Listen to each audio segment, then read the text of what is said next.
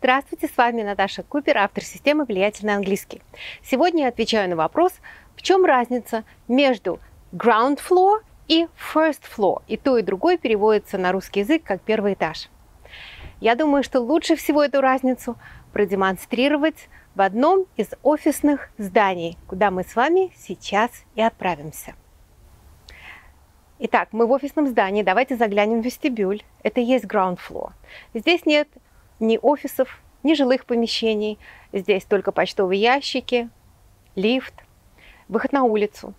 Офисное помещение может находиться на втором этаже, но его назвали первым, потому что он первый функциональный.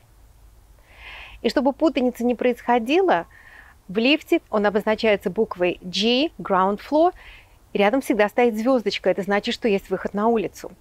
Или в гостинице это может быть буква L, lobby, лобби, фойе гостиницы, и тоже стоит звездочка, это значит, что выход на улицу именно с этого уровня.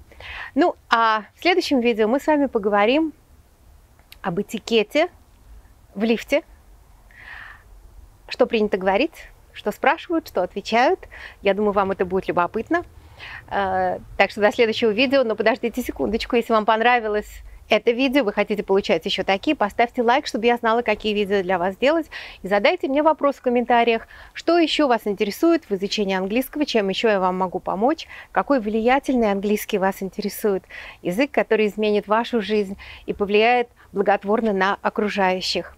И до встречи в следующем видео. И если вы подпишетесь на мой канал, вы первыми их получите. Всего доброго. С вами была Наташа Купер, автор системы «Влиятельный английский».